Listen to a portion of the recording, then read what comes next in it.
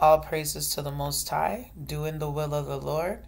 If you have to gainsay, fast and pray and take it up to your Creator, because the word of God cannot be broken. God's peculiar treasure is not all nations. We're going to prove it, and you're going to see through the scriptures that all these people who keep saying they're the chosen one, he, God wants to put these people to shame. Who keep saying, I'm chosen, you chosen ones, and this, that, because they're not. Of all nations, kindreds, and tongues who are saying that they're chosen by God and they're not, and that they're his chosen people. And they keep using this scripture that they don't understand. Um, 1 Peter 1, 2 and 9, and God wants to put them to shame. Um, but you are a chosen generation, a royal priesthood, and a holy nation, and a peculiar people, that you should show forth the praises of him who has called you out of darkness into his marvelous light. Do we understand a chosen generation, a royal priesthood? Who's God's priesthood, and who's God's holy nation, and who's God's peculiar people? So you know this is a nation God chose. There's a priesthood and there's a peculiar people. This is not all nations, kindreds, and tongues. This is for a specific people. Psalms 135 and 4. For the Lord has chosen Jacob unto himself and Israel for his peculiar treasure. So, who is God's peculiar treasure? The children of Israel. The children of Israel. Who is his chosen? He has said it. For the Lord has chosen Jacob unto himself and Israel for his peculiar treasure. And we're going to prove this from from Exodus and Deuteronomy.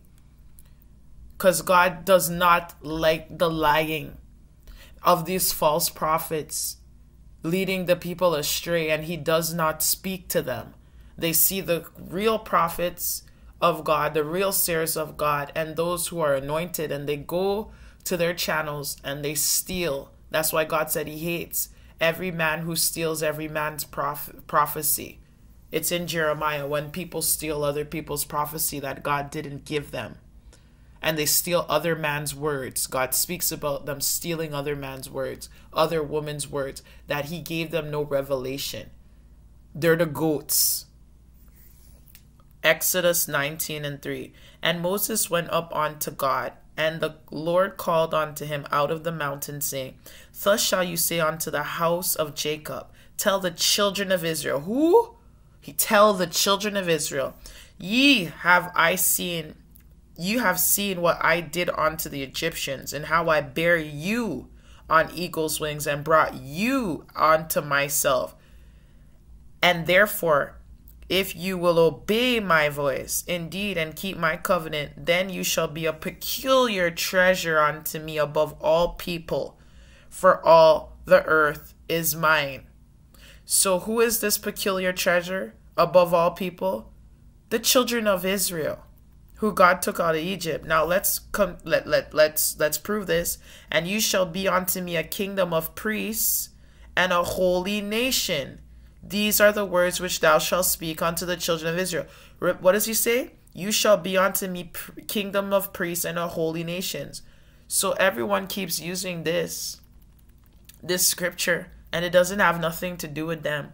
1 Peter 2 and 9. But you are a chosen generation, a royal priesthood, and a holy nation, a peculiar people, that you should show forth the praises of him who called you out of darkness into his marvelous light the children of Israel are supposed to teach the other nations about God. They're supposed to teach the Gentiles. The Gentiles are not supposed to teach the children of Israel because God never gave him that. Them that that is not their duty. We're going to prove this. That's why Paul tells you he's a minister unto the Gentiles. We're going to prove this. Deuteronomy 32 and 9 For the Lord's portion is his people, Jacob is the lot of his inheritance. Psalms 147 and 19 to 20. He showed his word unto Jacob, his statutes and his judgments unto Israel. He has not dealt so with any nation. So, are any of the nations supposed to be teaching God's word? if they're not the children of Israel? No, the children of Israel are supposed to be teaching the nations because they never knew God's word. They never understood God's judgment. Let's read this again Psalms 147 and 19 to 20. He showed his word unto Jacob, his statutes and his judgments unto Israel. He has not dealt so with any nation. And as for his judgments, they have not known them. Praise ye the Lord. Isaiah 42 and 1. Behold, my servant, whom I uphold, my elect, in whom my soul delights. I have put my spirit on him. He shall bring forth judgment to the Gentiles. Who's God's elect people? The 144,000. They're going to bring forth judgment to the Gentiles. Isaiah 45 and 4. For Jacob my servant's sake and Israel my elect the children of Israel will teach God's will teach the nations. The nations don't teach the children of Israel. I have called thee by thy name. I have sur- surnamed thee, though thou hast not known me. Deuteronomy 14 and 2. For thou art a holy people. You're a holy nation unto the Lord thy God, and the Lord has chosen thee to be a peculiar people unto himself above all the nations that are upon the earth. Do you understand that? Peter is not talking about everybody. Deuteronomy 26 and 18. And the Lord has avowed thee this day to be his peculiar people, as he has promised thee, and that thou should keep all his commandments. So 1 Peter 2 and 9 is not talking about everybody. But you are a chosen generation, a royal priesthood, and a holy nation, a peculiar people. What does God tell and promise to them? And the Lord has avowed thee this day to be his peculiar people, and he has promised thee that thou shalt keep all his commandments. What does he tell you here? In Deuteronomy 14 and 2. Thou art a holy people unto the Lord thy God, and the Lord has chosen thee to be a peculiar people unto himself above all nations that are upon the earth precept upon precept, line upon line, here a little, there a little. A peculiar people that you should show forth the praises of him who has called you out of darkness into his marvelous light. And even keep we can keep going. Doctrine and Covenants 107 and 1. They there are in the church two priesthoods. The royal priesthood. What there are two priesthoods. What? Namely, the Melchizedek and the Aaronic, including the Levitical priesthood.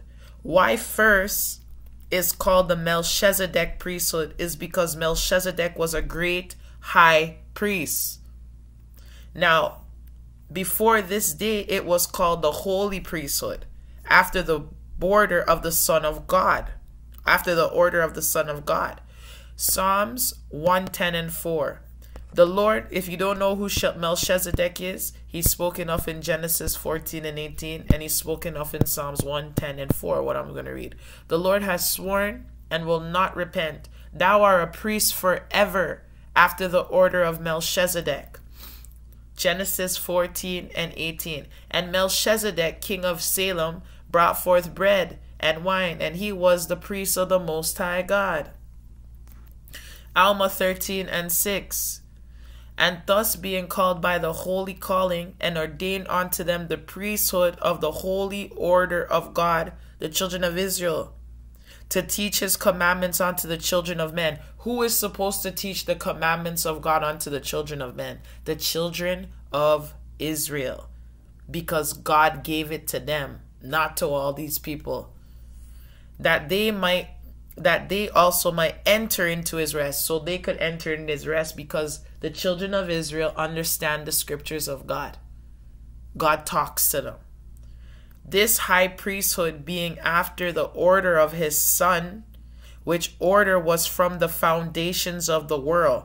When did this this order of the priesthood was from the foundations of the world. So these people can't say that they're chosen to do this, chosen ones. No, you're lying or in other words, being without beginning of days or end of years, being prepared from eternity to all eternity according to his foreknowledge of all things.